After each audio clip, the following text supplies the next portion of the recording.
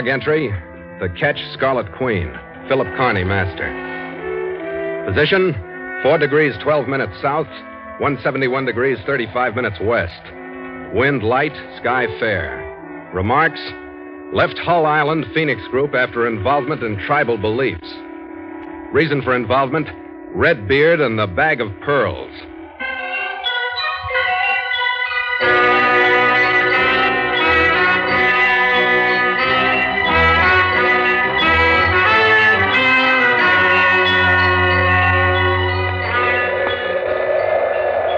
It was a brilliant sun washed afternoon that the puff of cumulus on the horizon ahead slowly raised to show beneath it an indistinct smudge. It darkened as we moved toward it, took on a definite palm tufted outline, and finally materialized as the four mile length of Hull Island. Its flat silhouette is broken at its western end by a grove of 80 foot palms, and it's set against a backdrop of water and sky and never ending summer. Gallagher approached me at the wheel as we stood in toward our passage. He was resplendent in a newly grown, burning red beard that shone in the sunlight. Hey, Barbarossa. Huh? If you can make yourself heard through that eight bells shadow, douse the sails. We'll go in under power. Aye, aye, sir. And your jealousy does not throw me. Stand by to take it in furlong sail. All two or by my beard. You'll be turning right for Sunday. We slipped through the passage into the quiet lagoon water and headed toward the small pier that served the Copra station of Harris Fenrick, the man who was to receive the cargo of supplies we had aboard. The Scarlet Queen had company in the unkempt schooner Ransom from Honolulu that was anchored just off the pier. We dropped our hook next to her, and in the quiet after we were secure, I heard for the first time the muffled throb of drums from the island. Then I noticed that the man who walked down the pier toward us carried a rifle. I'm glad you finally got here, Captain Carney. Are you Fenrick? No, he's up in the cottage. I'm Ray Librado, captain of the schooner. What are the drums? The natives are stirred up. Better leave your crew aboard, Captain, but we need you ashore. We think they will attack tonight.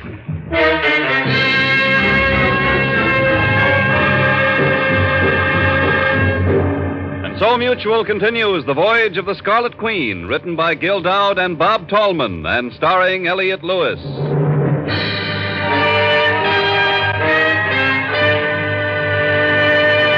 The Scarlet Queen, proudest ship to sail the seas, bound for uncharted adventure. Every week a complete entry in the log, and every week a league further in the voyage of the Scarlet Queen.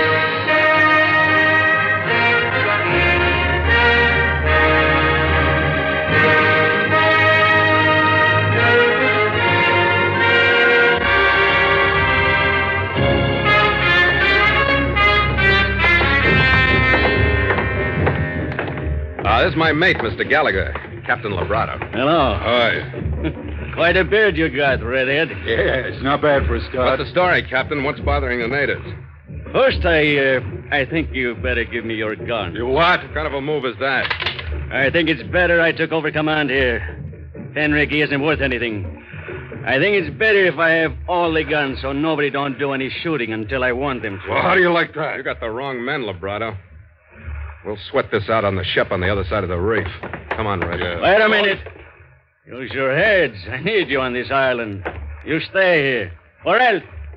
Here we go, Skipper. Hold it, Red. What's up, Ray? These guys think I'm kidding. Take their guns. What is this? Hold it, Red. Don't try nothing now, either one of you. Sure, Labrado. Just don't have to be tough. Just so it's my way. With that rifle, what else? Yes, sir. Yeah, I guess that does it, Ray. Ah, let's be friends now, huh? This is my mate Morel. We got a thing to do here. Let's pull together, huh? Yeah, I'm not kicking. I like to be shoved around like this. You make friends fast, you guys. Maybe this don't mean a thing, but I got to know you're all right when I talk to you. Come on. We go up to the cottage.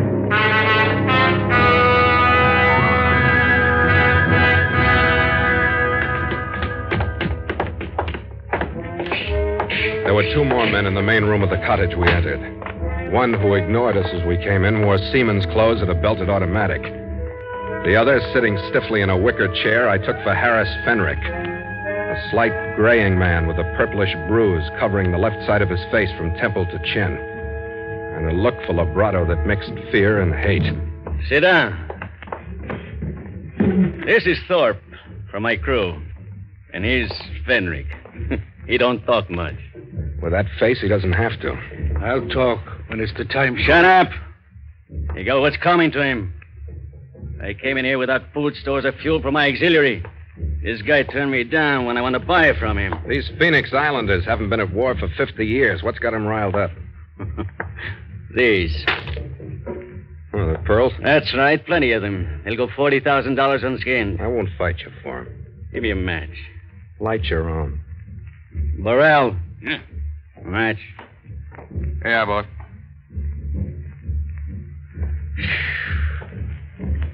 Now, let's get one thing settled between you and me and uh, Curly Locks with the fire whiskers there. Don't blow that smoke in my face, you Guys dumb... like us don't come down to these islands for the weather. You're carrying cargo for money. I'm pearling for money. We uh, see eye to eye on that now. hmm? Yeah, I think I can figure that one out. I got these pearls just like every other pearl in the business. I anchor over the bed. I got them in the Gilberts on a shelf between Beru and Nikunau. It's simple enough, huh? I don't care where you got 'em. What are you driving at? That bed. The Gilbertese think nobody should dive there. It's sacred.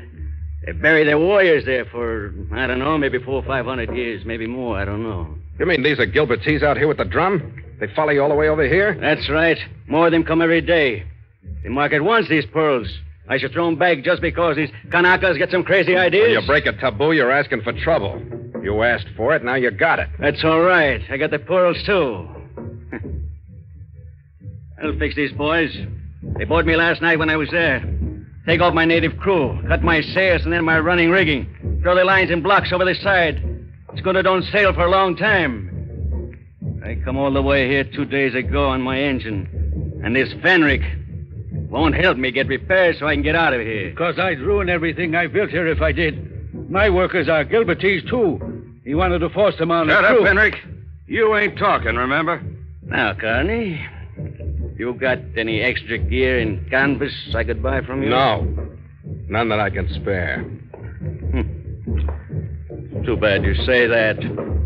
I hope you like shooting Kanaka. I don't. Especially when it's your kind of fight. You'll get plenty chance. As far as they're concerned, you're fighting on my side, no matter what you do. They saw you come in. They got it all figured out how you came to help me get away. This is your fight, too, now. You'll find out what I mean.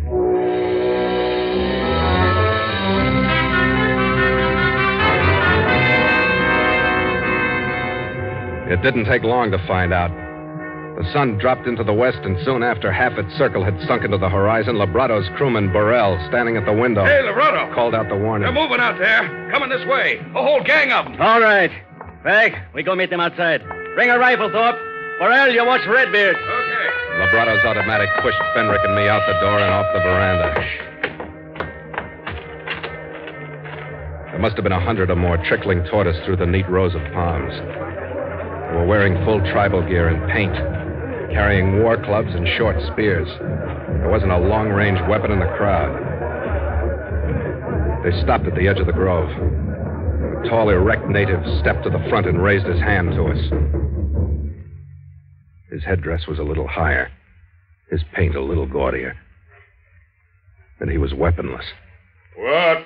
To ahe. Anawahe. What'd he say, Fenric? The truth I want. He says that he has seen the spirit omen and he comes in peace. He's a kinky headed liar. Mahohe. Otimina reoha. Mea toa. Teda mota bira anahe. What was that? He says the spirit omen will protect him. He will walk into our house with the spirit omen at his side. He will return a victor to his island Beru, where the spirit omen once lived. He's coming, Lebrado. Let him come. Give him five steps more and then show them we mean business. Hey, wait a minute. No. Go ahead, Thorpe. Lebrado, don't let him shoot. Go ahead, Thorpe. Get that native. You stupid. You lunkheads. You shot the chief. Oh, watch it. Here comes another You crazy fool. He's just going to pick up the chief. They're going away. What more do you want? Yeah. Well, Carney, how do you like the way we fight now? It's great. You and these smoke crazy hands of yours have got real guts. That was a tough assignment, that native who didn't even have a slingshot. Come on, we go inside and talk. Morel, you and Thor bring Curly Locks in. We'll bring him. Come on, Carney, move ahead. You too, Fenric, inside.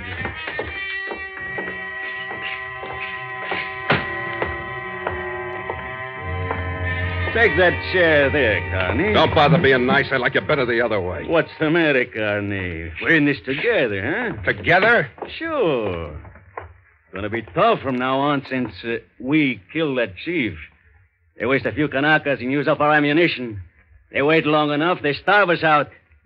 The lazy monkeys, they got plenty of time. I think we better get off of this island, don't you? We. Oh, yeah. You mean you and Burrell and Thorpe. We all go together on my ship, huh? Sure. You say you don't have any spare gear or canvas, and anyway, I don't think we got time now to make repairs on my ship. I'll pay our passage to Borneo, and you don't lose Why don't anything. you stop? I'd kick myself from here to Sydney before I'd get sucked into a deal like that. That's enough, I'd sign on as a galley slave to that dead chief's survivors before I'd help you get out of here on my ship. All right, Connie, you keep begging. What do you... You lay off. I'm going to catch you without that automatic before this is over. All right, Red. I'd rather be slugged than talked to by this louse. Maybe you'll get both, Connie. You and your mate, too. I gave you a chance. I'm through trying to make sense with you. Hey, Lebrato. Yeah, what have you got? Getting dark out there. But it looks like the grove out in front's crawling with Kanakas. Oh, if you go stand guard at the door, I'll watch these guys. Move over there, Fenric.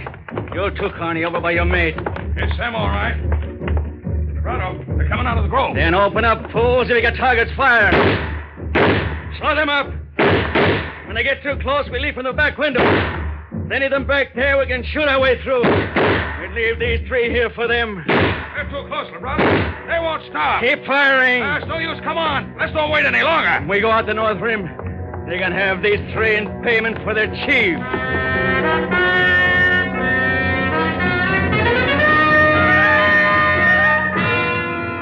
After they'd gone through the window, we just had time to get to our feet before the flood of natives rolled into the cottage.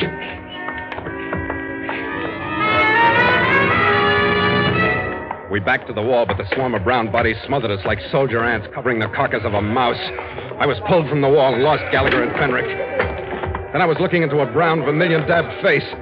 I caught the flash of a polished war club over my head and saw the lips in front of me pull away from a set of blackened teeth. And then I seemed to explode upward to meet the descending club. The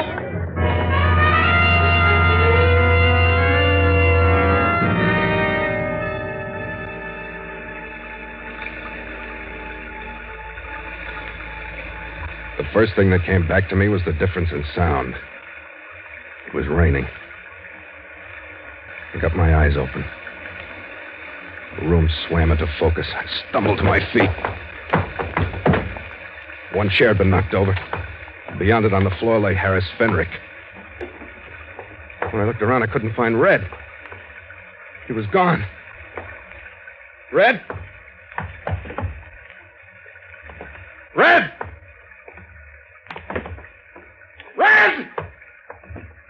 What? Fenric? Fenric, wait a minute. I'll get some water.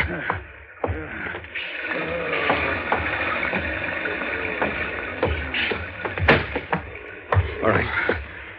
Come on, Fenric. Come on. Connie, you're all right. Come on, Fenric. Get yourself together. My head, Captain. Yeah, I know it's bad. I'm doing the best I can.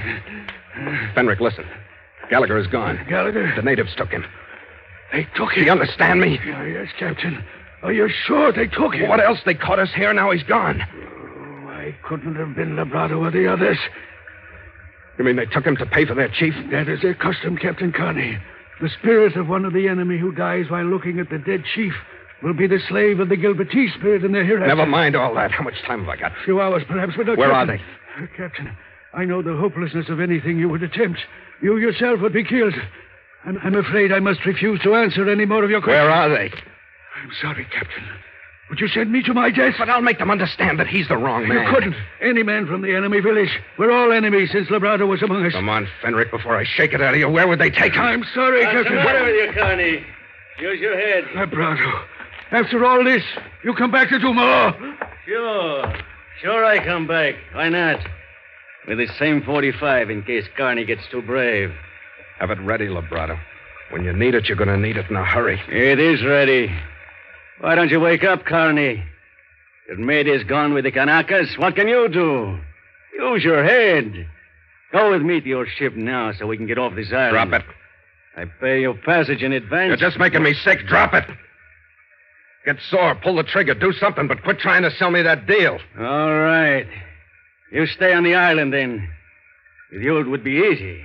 If you think we can't leave on your ship without you, we handled crews like that before. We'll make it all right. You might at that for a few days. It's a good try, Connie. I promise you that.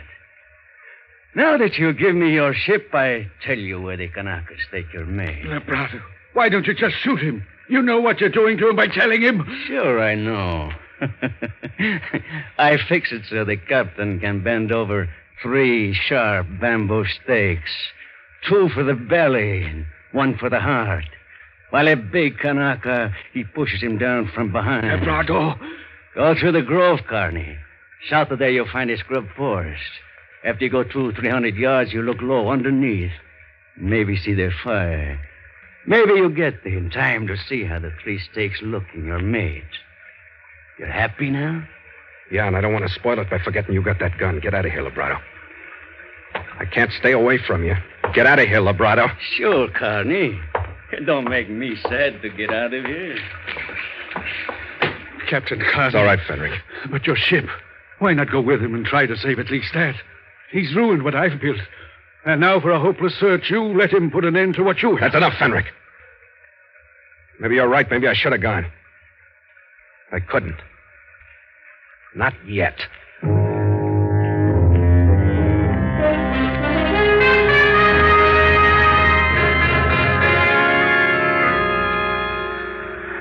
I followed the beach. I walked the 200 yards. Then started dropping to the ground every 10 feet or so to look under the heavy foliage for a flicker of flame. I covered half of the next hundred. Squatted low for a few minutes, my soaked clothes sticking coolly to my body. The movement of a figure on the beach ahead caught my eye, all my attention focused on it. Not for long, but long enough to dull me to the movement behind me. A short rush. I half turned to meet one of them. The other one stayed behind me, and a loop settled around my throat and tightened.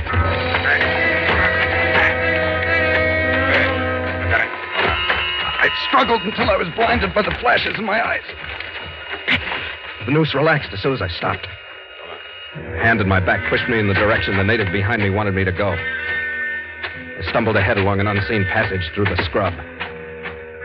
I entered the uneven circle of light spreading from a number of fires fighting against the rain. I looked up at a wall of stony, silent faces. Then my natives pulled me to a halt. I made myself look at the ground. Forced my eyes to stay on a triangle of stiletto sharp stakes that gleamed wetly in the firelight. Yeah, Moe, may I to have? My guard took my shoulder. The noose slipped off. Then he turned me away from the stake, pushed me forward toward the wall of natives. An aisle split the crowd. I was guided through it. I made the first six feet on the other side, then I stopped. Fire on this side was bigger. Flames leaping cheerfully, higher than my head, forming a curtain that I could see vaguely through. Only vaguely, and I still didn't believe what I thought I saw. Yeah, oh, Moe. I moved around the fire. Then I had to believe it because I heard it. Tell them no. This is not the killer of their chief. Vaina. Saragi, Mataki. Gallagher. Not impaled on stakes, but seated on a chair of sorts, his bright red beard glowing in the firelight, and a shelter of palm leaves protecting him from the rain the rest of us stood in. He looked at me coolly, then gestured idly with two fingers on his right hand. Have the white man sent to me. Enua, Parati. Tell them I speak to the white man. Then we find the killer of their chief. Maoni. Pa. Nuape. Gallagher, What for does the that- love of that May, how it's mean? May, Ippescay. Don't let on you know me. I'm a big gun around here. And if I like you, I might save your life. I was stumbling around here figuring maybe I'd save yours. What the devil's going on? My beard and my coloring. What? Yeah, they saw me come ashore. And then they dragged me out of that cottage and made a big shot out of me before I could congratulate myself. they got a legend that a guy with a beard and hair like I'm sporting floated into Beru Island in the Gilberts three or four hundred years ago. And he turned into quite a leading light. They think I'm him. Come back to save their pearls. Think you'll make it? I hope so. Because if I don't. Eh, That's why I had them out there waiting for you. I knew you'd get on this trail sometime. Red, Labrato and his hands were on their way to take over the Queen when I left. The Queen? What's the matter with you, Skipper? How'd you let him get away with that? had all the artillery. I didn't even have you. Oh, you... I don't think they'll risk the reef with this rain cutting visibility. But we better take a stab at it quick. Catch them while they're at anchor. Can you get some helpers? Can I? All I gotta do is wag this beard. How many you want? Fifty, a hundred, or the whole blasted pack? Twenty of the best swimmers. That's great, but being what I am, I'll have to outswim them or admit that I'm human. Watch my beard, Skipper. I'll show you how it's done. Stand by! Tell them this. I demand 20 swimmers. They must be strong and silent and filled with fire. When they are ready, we will go and get the pearls, the one who took them from the burial bed, and the two killers of their chief Matangi. Hey, you're all right, Red. you got that immortal attack. this is the life for you. Yeah, yeah, it's fine, but that other Joe, he married eight wives.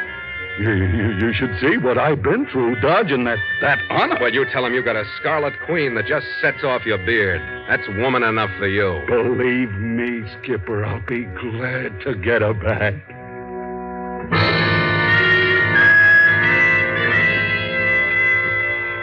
An hour later, Gallagher and I had led our 20 natives to the edge of the lagoon, a safe distance away from the pier, and stripped down to dungarees. We slipped into the water, stroked silently with our arms submerged, with only our heads breaking the surface. We reached the Queen, rested on the port side. We found both Thorpe and Burrell standing watch on deck. According to plan, I submerged, swam under the keel. Came up on the starboard side, waited there for the disturbance that was to take them to port so I could board. I didn't hear the sound, but I saw Thorpe's head lift and swing toward it. I was halfway over the rail by the time they started to move. And I was behind them as they reached the rail. I dropped to the deck and lifted their feet. First Thorpe, and then Burrell. They were fished out by waiting brown arms that quieted their struggling and started towing them to shore. Gallagher came aboard. We didn't wait for Labrato. Come on, Skipper. We went after him. He was sitting on the edge of my bunk, idly picking an untrimmed thumbnail. When he saw us, his mouth dropped open. He lunged to his feet, and his hand streaked toward the automatic at his waist. Hey, what the devil? Without the gun this time, Labrato. No! I take his gun, Red. I'll take him. Hey, what do you think you're doing, You Carl? don't know what to do without that automatic in your fist. Do you, Labrato? You don't like it when you're unarmed like that native chief. No! Ernie! I don't think you knew what else to do with a guy who had enough guts to walk up to you and your two riflemen. Ah. You don't understand guts, do you? Scares you to death when you see them in somebody else. Oh, that's enough. Not quite. It isn't. All right, now get up. I'll help you, Skipper. All right, I got him. What's this? It fell out of his shirt. That's the pearls, Red. You bring them. We'll give both the pearls and Labrato to our friend. Hurry! Don't let those crazy fools get Shut up, Labrato. Oh, please, please, Connie, don't, let them get me. All right, Gallagher. Be the big chief. Hand the pearls over to your loyal subjects. Right, Skipper? Hey, you! Here! Catch! Connie, what are you going to do? Hey, down there! No, Connie! Your mighty red god has another gift for you! The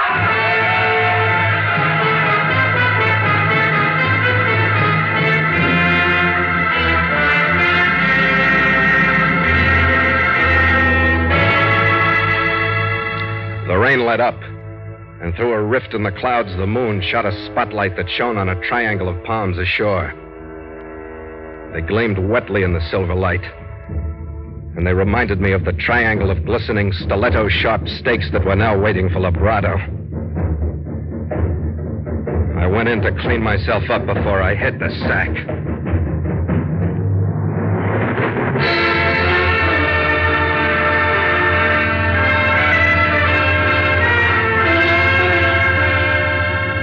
By By 1.30 the next day, we discharged Fenrick's cargo and left Hull Island basking in the sun peacefully once more, richer for the unkempt schooner Ransom from Honolulu. With the white curl of surf on coral dropping astern, I cut the motor, and Red roared the crew into action. Stand by to make sail!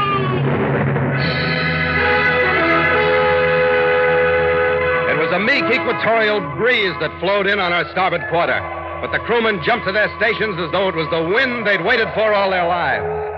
It was a holiday wind that we'd ride to Christmas. No snow or holly wreaths, no sleigh bells or shopping lists. But we'd be one up on the world. We'd celebrate the holiday on Christmas Island. With port sheet! Make sail!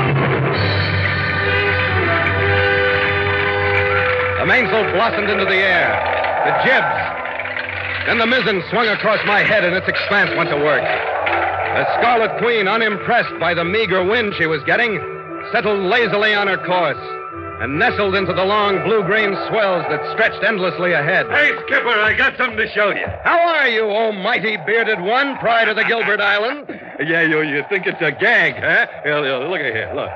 The Pacific Islands Handbook.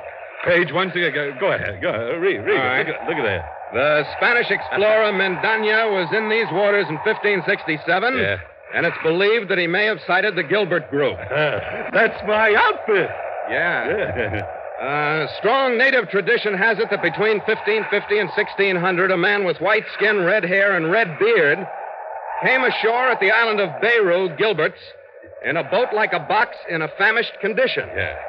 He recovered, took as wives the eight sisters of a local chief, Oh, and had 23 children, whose descendants are now scattered throughout 14 of the 16 Gilbert Islands.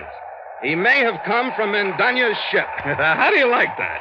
It's right there for anybody to read. Oh, Red, it's a great beard, but with Yeah. the name Gallagher, it somehow doesn't point back to a Spanish explorer. Yeah, yeah well, well, funnier things have happened, and besides, it worked, didn't it? We got out of there. With your loyal subjects pushing eight wives at you, you had to get out. How'd you defend yourself, Red? Just like you said. I told him I had a Scarlet Queen that just set off my beard. Here, Skipper, to the Queen. Yeah, after what she got you out of to the Queen. after you, mate. After you.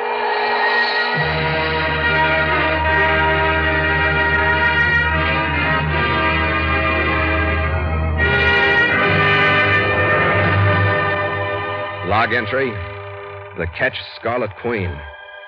5:30 p.m. Wind light, sky fair with cumulus on eastern horizon. Sea calm with low swell. Ship secure for night. Signed, Philip Carney, Master.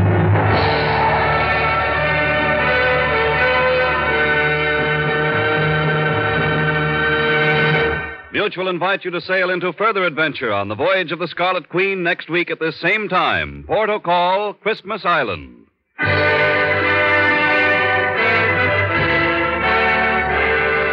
Voyage of the Scarlet Queen stars Elliott Lewis as Phil Carney with Ed Max as Gallagher, and tonight featured Jack Petruzzi as Labrado, with Herb Butterfield as Fenrick, and Dave Young as Borel.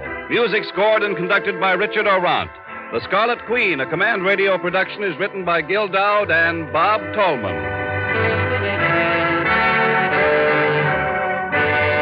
This is the Mutual Broadcasting System.